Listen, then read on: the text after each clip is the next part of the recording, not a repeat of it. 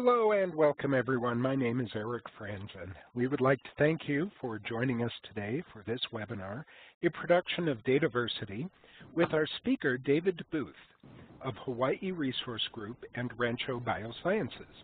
Today David will be discussing the Yosemite project for healthcare information interoperability, standardizing the standards and crowdsourcing translations. Just a few quick points to get us started. Due to the large number of people that often attend these sessions, you will be muted during the webinar. We will be collecting questions in the Q&A box in the bottom right-hand corner of your screen. At some points during today's presentation, depending on the system you're using, um, the layout of your screen may change. This is due to the type of media that the presenter needs to show and the system that he's using. However, please be aware that if that happens, a drop-down navigation panel will appear at the top center of your screen. You will still be able to access the Q&A, the chat module, all those other modules you see over on the right-hand side. Again, that'll appear in the upper center of your screen. As always, we will send a follow-up email within two business days containing links to the slides, the recording of this session, and any additional information that may come up during the webinar. This webinar is actually the first in a series, and at the end of today's session, um, David will be speaking about how to access the next installments. Those, won't, those following installments will not be hosted uh, through Dataversity, but um, they will be part of that same series on the Yosemite project. And now, without further ado, a few words about our speaker, uh, David Booth. David is an independent consultant and senior software architect at both Hawaii Resource Group and Rancho Biosciences, using semantic web technology to make healthcare and biomedical data interoperable between diverse systems. He previously worked at KnowMed, that's K-N-O-W-M-E-D, using semantic web technology for healthcare quality of care and clinical outcomes measurement, and he worked at PanGenX, applying semantic web technology to genomics in support of personalized medicine. Before that, he worked on Cleveland Clinic's Semantic DB project, which uses RDF and other semantic technologies to perform cardiovascular research. Prior to that, he was a software architect at HP Software, where his primary focus was emerging technologies.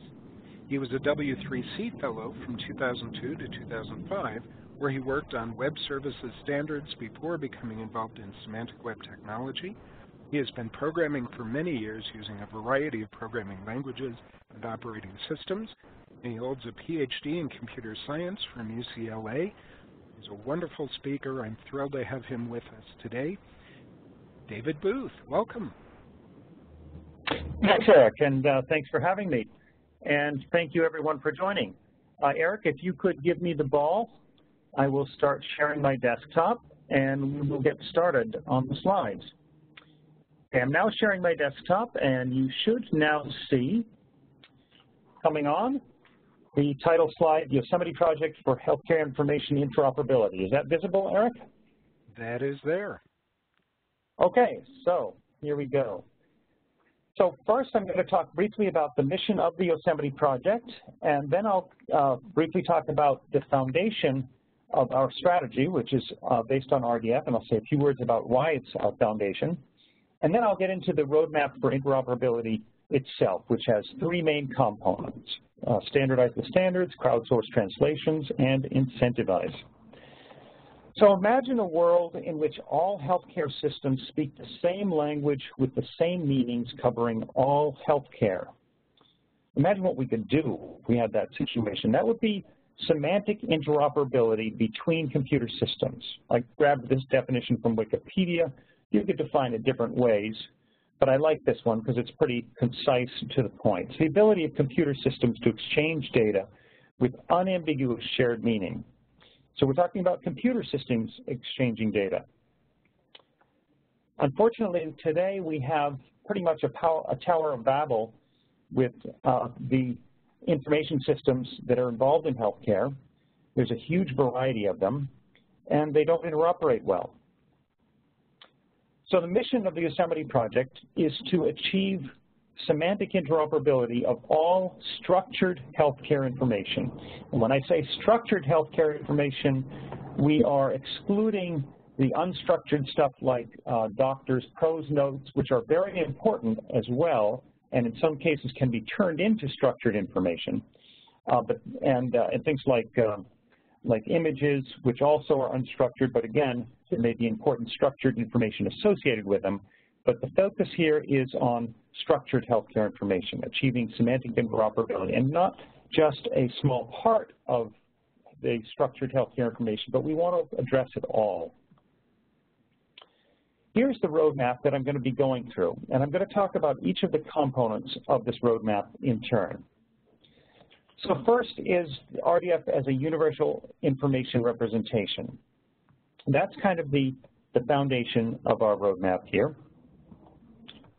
RDF is, um, RDF stands for Resource Description Framework, but it's really more instructive to think of it as standing for Reusable Data Framework. It's a language for representing information content.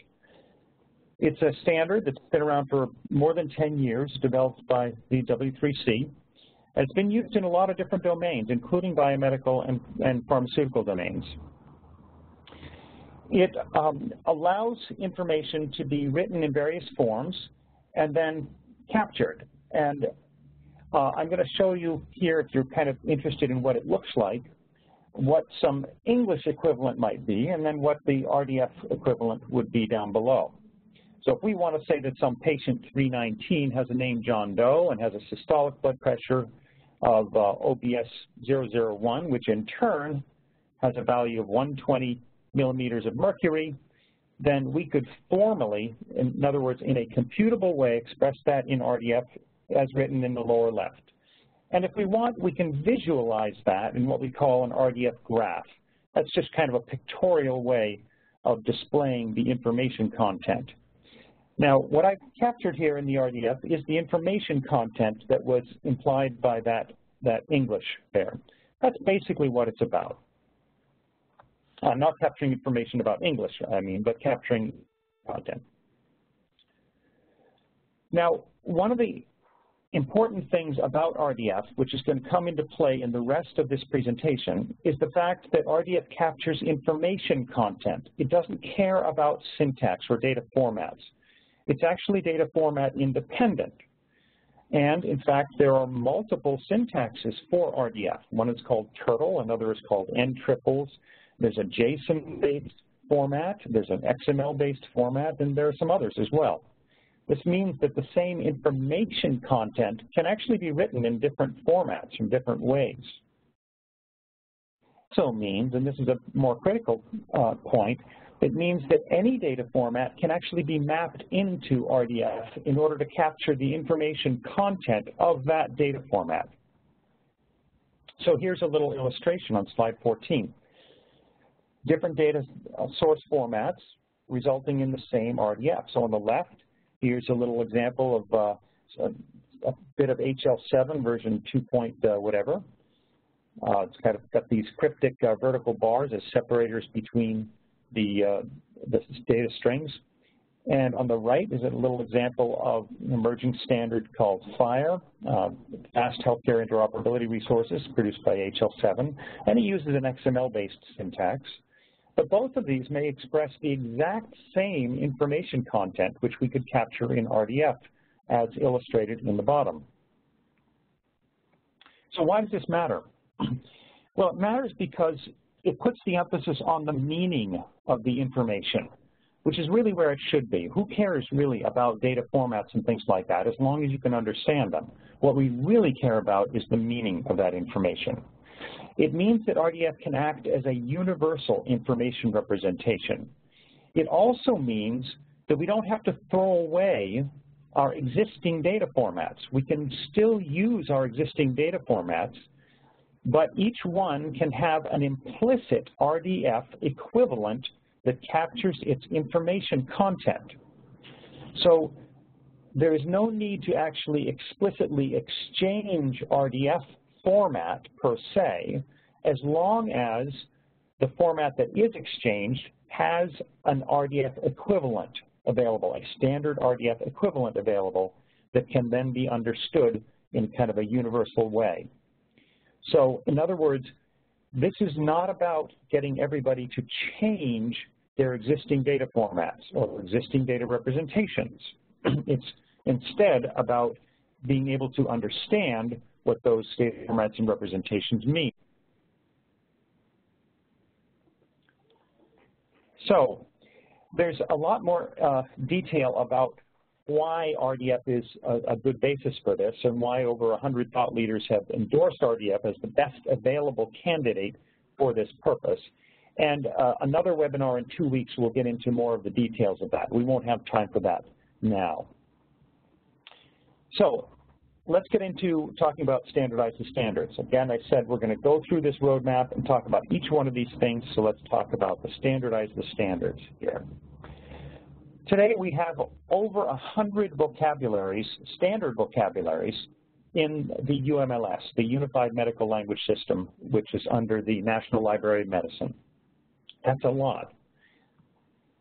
Um, now, they are not all used to the same degree, and so the, the Office of National Coordinator, the ONC, has put out its standards advisory recommending a certain subset of these to be used uh, for the most common kinds of, of healthcare exchange.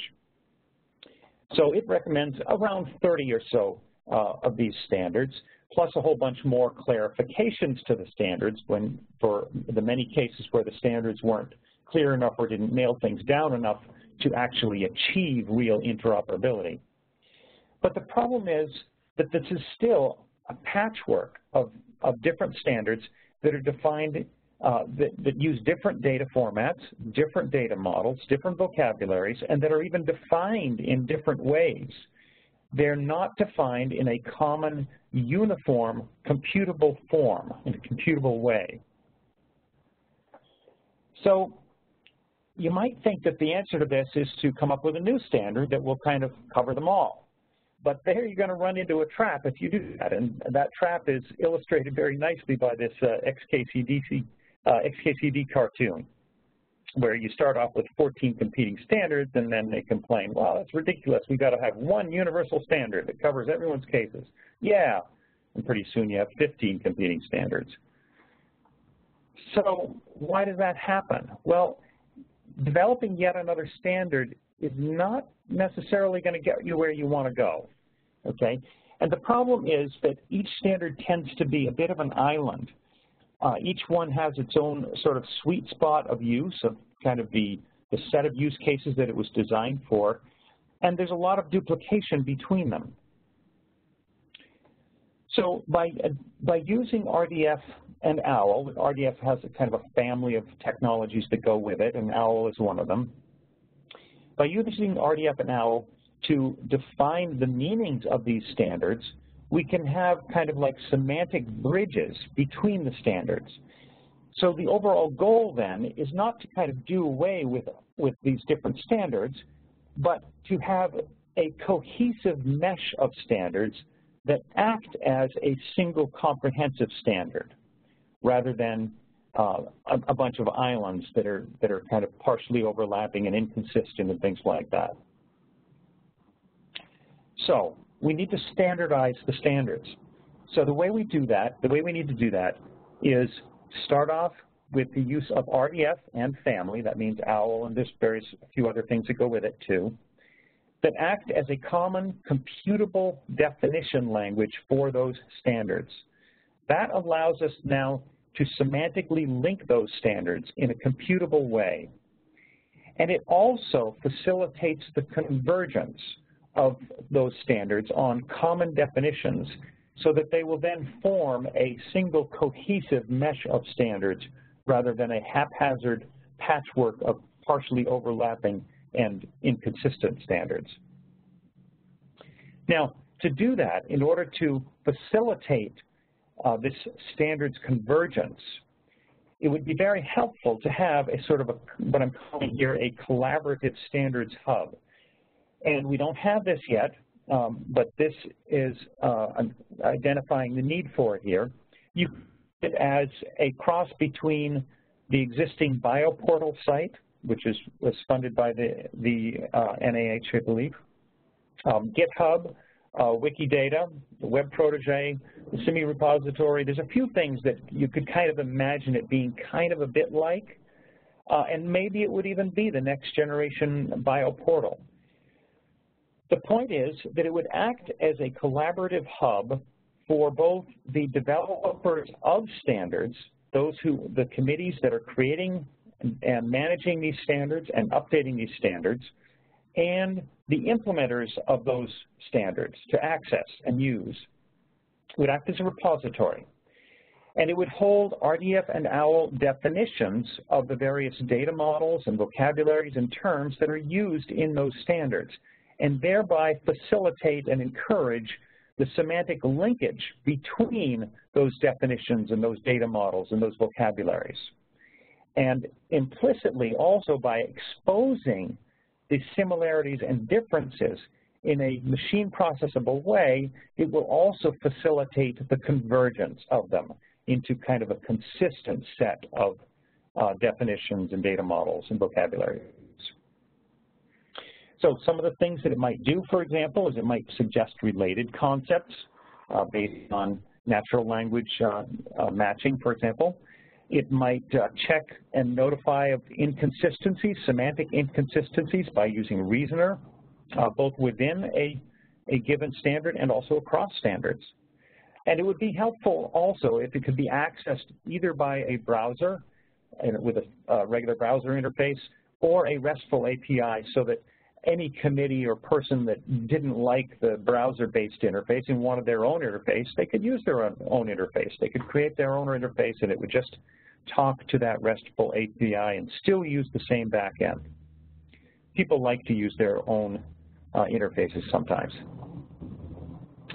And furthermore, it would be very helpful if this uh, collaborative standards hub could also scrape or reference definitions that are held elsewhere because for one reason or another, various standards committees might want to have their own places where they keep their standards and they might not want to keep the original uh, or the master in this, uh, in this hub.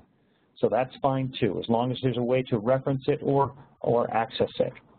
And it could also provide metrics on um, both objective and subjective metrics on, for example, the size of the standard, the number of views that it had, um, how much it's linked to other standards, uh, how many people have downloaded it, that sort of thing. And it may have subjective uh, ratings too. And the point is that it would use RDF and related technologies like OWL under the hood to semantically connect and allow computability uh, of these standards. But it would not have to expose, it would not have to put RDF or OWL in people's faces. These would be hidden under the hood so that the users of this hub could be domain experts without knowledge of RDF or OWL. Now the closest I have seen to this so far is a tool called ICAT that was produced by the Web Protege uh, team at Stanford.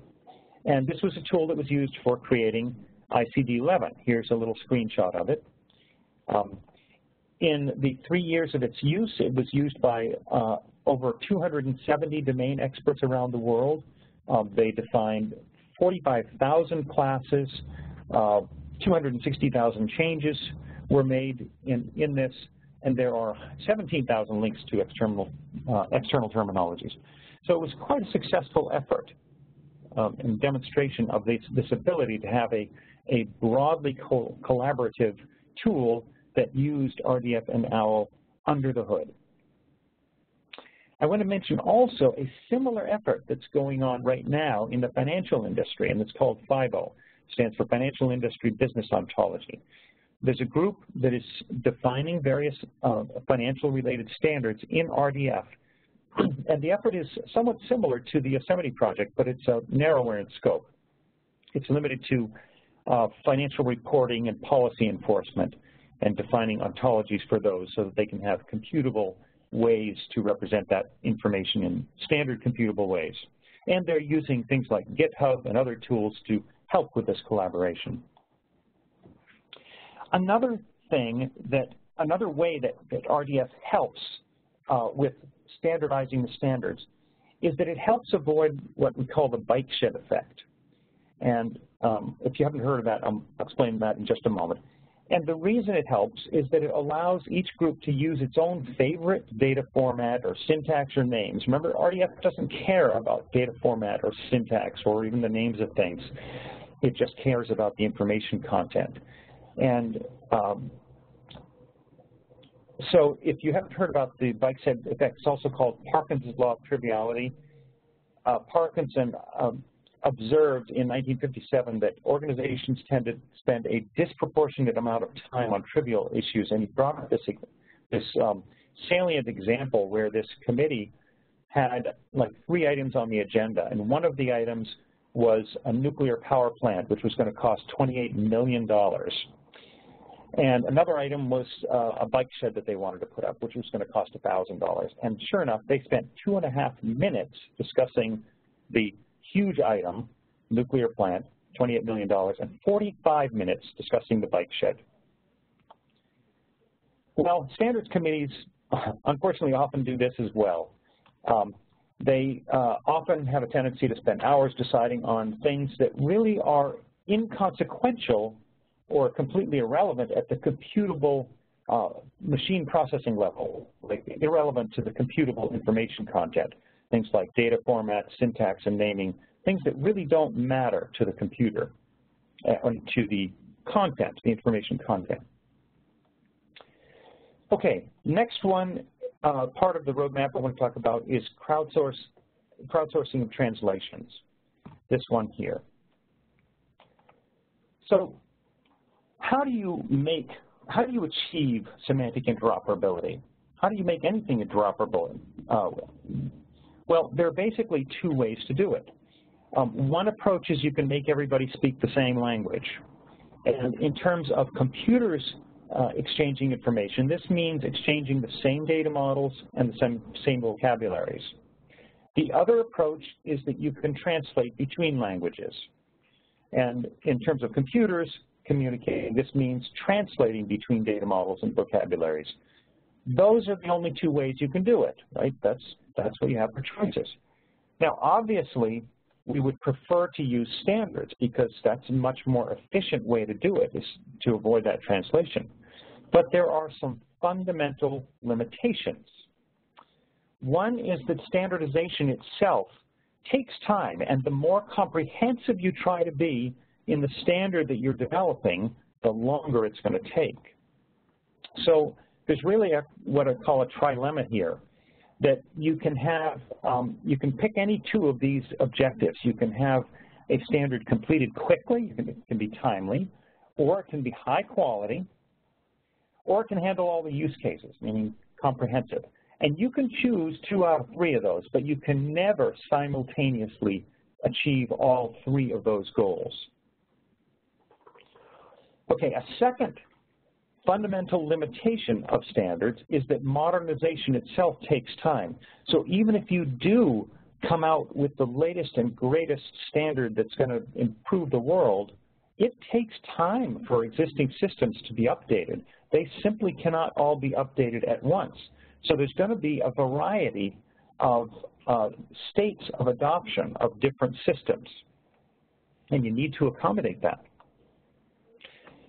Okay, a third fundamental limitation of standards is that one size does not fit all. There, there are diverse use cases that need to be addressed, and especially in healthcare, there's just a wide variety of use cases that need to be addressed. And I've illustrated this on this picture um, about the, the need for not just for different data, but different granularity of representations on the left, here's a little representation of a blood pressure measurement that gloms the, uh, the systolic and the diastolic into a single string, 120 over 70. And on the right, it has broken it apart into separate numbers, 170, uh, sorry, 120 and 70. Now, you can imagine that the one, the representation on the left is going to be easier for, or more convenient, I should say, just for display to a doctor, because they're they're very familiar with seeing it that way. but the one on the right is going to be more convenient for other kinds of machine processing where you want to do some kind of looking at the at differences over time maybe. And furthermore, the one on the right has a finer granularity than the one on the left has. It has captured the body position as well, which for many cases, many use cases won't matter, but for other use cases may matter. So the point is that we don't have a one-size-fits-all situation. There's such a wide variety of use cases in uh, healthcare medicine that different representations are needed. Finally, another fundamental limitation of standards is that standards themselves do not stand still. And as, Doug Fridsma likes to say, the only standard that isn't changing is one that nobody uses. Um, so, you know, we have to be able to accommodate when a new version of a standard comes out. So uh, here's some data that uh, Rafael Richards at the, at the VA uh, came up with. He looked at the published information from these common terminologies listed on the left and how, how, what their rate of change was from year to year. And this is what he found, that um, on average, they were ranging around 4 to 8% per year in general. This is according to, to the publishers of those terminologies. So that has to be accommodated. So the point is that even though standards are always preferable whenever you can use them, you don't want to do translation, but translation is still unavoidable. It allows newer systems to interoperate with older systems. It allows different use cases to use different data models, and it allows standards to evolve. So we can't get around the need for translation. So a realistic strategy for semantic interoperability needs to address both standards and translations. Now, over time, the expectation is that the amount of interoperability that we get will go up, and the amount of interoperability that is achieved, achieved with standards will become a larger and larger portion. But the amount that's achieved due to translations will never go to zero because of those fundamental reasons that I just discussed. So there are some other reasons why RDF also helps with translation, and one of the key reasons is that it supports inference. And inference is a key thing that can be used for translating when needed. It also is helpful for supporting translation because it acts as a universal information representation, as I uh, said previously. And this means that it will allow data model and vocabulary translations to be shareable, to be more easily shareable, because you have kind of a uniform basis that you can work against. So here's a little model then of how uh, translating, how translation of patient data can happen. Like let's suppose you get some source data in one representation, and I've just illustrated it here as HL7 version 2.5, some flavor of that. And on the right, the target wants to receive uh, the information in this format called FHIR. Um, now, the way this can be done in a uniform way is step one is to what we call lift to RDF, which means this is a essentially a format translation. It's just getting it out of its existing format and into RDF. It's a very direct kind of uh, translation, getting it into RDF. At the other end, step three is the inverse of this. It's the drop from RDF. It's just, again, a fairly straightforward, direct syntactic mapping from RDF into the target format. Now, the real important work actually happens in the middle, the translate step, step two. And this is RDF to RDF translation, because the RDF that you get out of the lift, even though it is RDF, it is not necessarily semantically aligned or using the same data models or vocabularies as you need uh, on the right when you want to go back, go uh, drop out of RDF. So this middle part is known as semantic alignment or model alignment and is an RDF to RDF translation. So by viewing this process this way, we have neatly factored out the, the direct uh, lift and drop, which are just simple syntactic mappings in and out of data formats.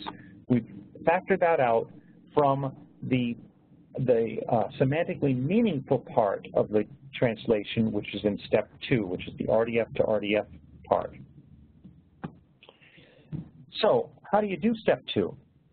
Well, translation is not easy. It's not easy to do this model translation. Okay, um, there are a lot of different data models and vocabularies that may be in use, and currently this kind of work is typically done in proprietary black box uh, integration engines. But now, by using RDF as this common semantic layer, as this uniform or um, uniform uh, information representation, we now have the ability to have shareable rules or shareable uh, executable um, translators that can then be crowdsourced and reused, mixed and matched. So this brings up the notion then of having a crowdsourced uh, translation rules hub. Now it doesn't actually have to be a hub, it could be some kind of distributed thing, uh, but the point is that it's crowdsourced and shareable. Here's an illustration. Again, it might be based on GitHub or Wikidata or BioPortal or Web Protege or something else. The idea is that it would host translation rules. And when I'm saying rules, I'm using the term rules in a pretty loose way. It's really just any uh, executable way of transforming from one form of RDF to another form of RDF. Or it could do the lift and drop as well. So this rules hub should be agnostic about the rules language, and I've illustrated here that it might use a, it might accept a wide variety of rules languages. It might use Jena rules. It might allow uh, OWL2 rules. Uh, might use N3 rules or SPARQL rules, or SPIN notation, or even just Python or Java code. Anything that knows how to translate from RDF to RDF could be uh, put into the uh, this uh, translation rules hub and reused. So there would be various metadata that would go along with the translation rules. There, it would indicate uh, the source and target language or classes that you're translating from and to. Uh, would indicate the language of the of this rule set or translator. Would indicate any dependency it has might have test data that goes along with it, or validation information, might have license information, ideally free and open source for crowdsourcing, but maybe some other model would emerge as well. There might be uh, commercial um, efforts as well. Uh, who maintains it? There might, again, be metrics on it, um, both subjective and objective, like how many downloads, who wrote it, things like that, how many people like it. And it could even have digital signatures of endorsers, of uh, parties that endorse it, very much like uh, the way Red Hat produces Linux, even though Linux is open source, Red Hat as an organization produces their endorsed version of Linux and sell that uh, commercially. Now, one thing I want to emphasize that this uh, crowdsourced translations rules hub is only holding the rules for doing translation. It's not doing the translation itself. So there's no patient data that is getting uploaded into that rules hub. Okay? The rules get downloaded for individual use. Okay, next component of the roadmap is this center part, incentivize. So the reason this is on here is that the sad fact is that there is no natural business incentive for any healthcare provider to make its data interoperable with its competitors. That's just the way it is. And the bottom line then is that there really have to be some kind of carrot and stick policies that propel healthcare providers to make their data interoperable with their competitors. It ain't going to happen naturally. Now, this is not focus of the Yosemite project, but it is an absolutely essential um, thing that needs to be addressed, that policymakers need to address, and that's why we specifically call it out on the roadmap. So the final thing I want to get to is the question of what will semantic interoperability cost? So here's my wild guesses, right? I've given a very broad range here. For the standards part, initially it might take 40 to 500 million to get that going. For the translations part, it might take 30 to 400 million to get that going. And on, on an ongoing basis, it might take 30 to 400 million to get to uh, maintain this kind of uh, uh, standards work and 20 to 300 million to maintain this kind of translations work. So a total of maybe 50 to 700 million a year. Sounds like a lot of, lot of money, doesn't it? And these are just my wild guesses, right? Uh, I'd like to know what other people's guesses are. But the main point here is not what these precise numbers are. The main point is the cost of not doing this is enormous. And one estimate that I saw estimated the cost of non-interoperability, which is the current situation now. What is it now? What is it now costing us to not have interoperability? It put it on the order of $30 billion a year. That's $30,000 million per year. Way more than it would actually cost to do this interoperability. Okay, that brings me to the end of this. Um, I want to bring to your attention some upcoming webinars also. I'll just list them here. And I'm going to open the floor for questions now, too. So, um, Eric, do you want to, um, and I'm going to try to put the roadmap slide back on. Eric, do you want to open the floor for questions now? Sure.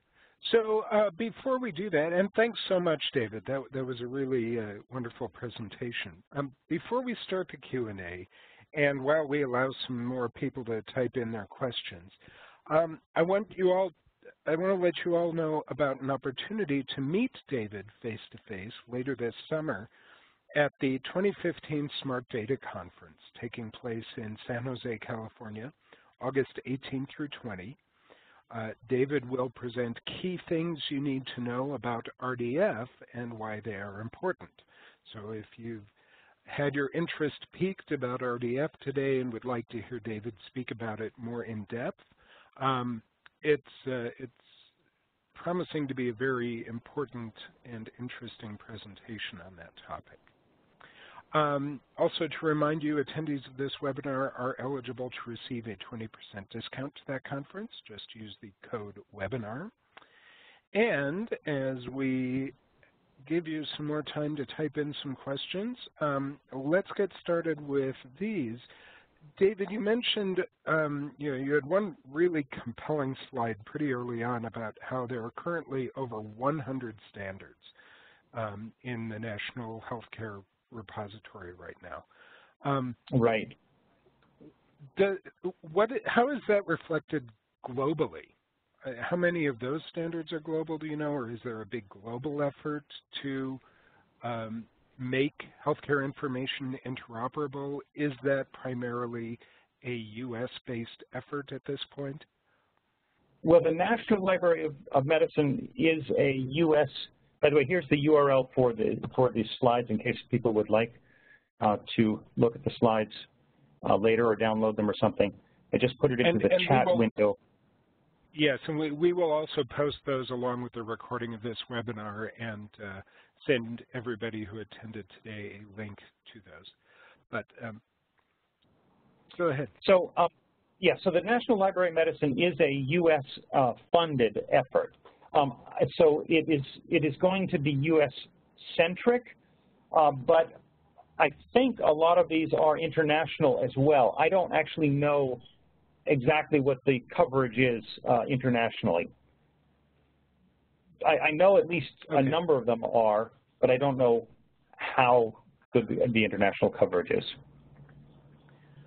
Um, you you laid out this wonderful grand vision, and you talked a little bit about some of the challenges. Um, do you see the most uh, difficult hurdles at the moment being technical, cultural, financial, regulatory? Where, do you see the biggest hurdles at this point to getting movement toward this vision of interoperability?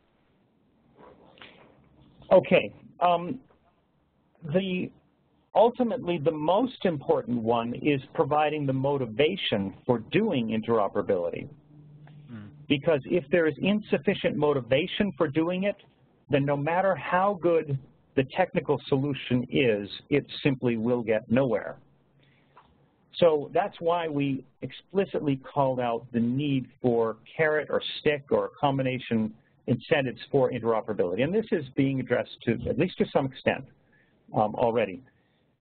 Um, so I would absolutely put that as number one. But beyond that, um, there are significantly significant technical barriers uh, as well uh, in this sort of patchwork of standards that we have already. There's so many different standards, and they're defined in so many different ways. So I think that uh, I think there are multiple things that are important here. I, it's kind of hard to say um, beyond that what's what's number one. Well, what what are you? Uh, what do you want? Do you want to speak a little bit about the Yosemite project as a project? What organizations are involved right now? How listeners might be able to get involved themselves? Sure. So the Yosemite project is a, it's kind of a bottom-up effort um, that came out of uh, a year and a half ago of a workshop that we did at the Semantic Technology Conference that explored the idea of using RDF as a, a universal healthcare exchange language. And that was in response to the need that was identified by the President's Council of Advisors on Science and Technology, the PCAST report in uh, 2010 that called out the need for a universal healthcare exchange language. And a number of us who had already been looking at RDF and had already been thinking along the lines that, uh, recognizing that RDF could be a very good basis for that kind of thing, put together this workshop uh, to explore it. The workshop had, I think, about 25 or so attendees, and it went very well. And the culmination of that was a proclamation that we put out called the Yosemite Manifesto, which said, in essence, that we think that RDF is the best available candidate for this purpose, and said a few other things. So a year later, um, at the next Semantic Technology Conference, we decided to follow that up and with creating more, more of an action plan on how to do it. And this was the genesis of the Yosemite project. The Yosemite project is a bottom-up effort um, by, uh, it's a collaborative bottom-up effort by people that are interested in achieving semantic interoperability in healthcare. At the moment, it is not funded from top down. Uh, we have not pursued funding for it yet, uh, although you know we may at some point. Uh, but it's really a, a, a, group of people that are interested in achieving and dedicated to achieving interoperability and who are involved in these efforts on a day-to-day -day basis. And so how if you want to get involved, probably the easiest is to email uh, any of the of the people on the Yosemite Project Steering Committee. So if you go to yosemiteproject.org, uh, at the bottom of the page, you can look for the steering committee and, and email us. Great. Okay, well, I do want to give people the opportunity to ask questions. Um, this is sort of a last call for questions at this point. Um, I want to remind everybody that the next Smart Data webinar in this series will be on August 13th and will be on the topic of one of the syntaxes that David was speaking about a bit earlier um, for seriali serializing RDF. Uh, it's one of the newer syntaxes. It's called JSON LD, and the presenter for that webinar will be Brian Sletten of Bosatsu Consulting. Brian is a wonderful instructor, and so if you're curious at all about how you might begin to model RDF using uh, what a lot of developers consider a very familiar looking format, JSON. Um, it's a good opportunity to start looking at that and learning about how to use JSON LD. So that's Thursday, August 13th. Um, if we don't have any questions, and it looks like we don't have any at this point, um, David, if people do have questions after the webinar, how can they reach you? Yeah, I uh, just uh, email me. You can look up my contact information. Also, uh, if, well, if you go to YosemiteProject.org, there's a contact uh, link uh, at the bottom of the page. You can uh, contact us that way. let me also just point out that there, the today's webinar was kind of the intersection of, of two webinar series, the Smart Data series that Eric was just mentioning, and then the start of the Yosemite Project webinar series as well.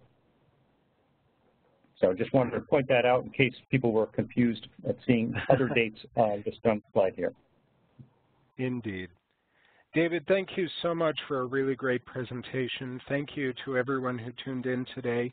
Um, and uh, we look forward to seeing you again online. Great. Thanks very much, Eric, and thanks all for joining us.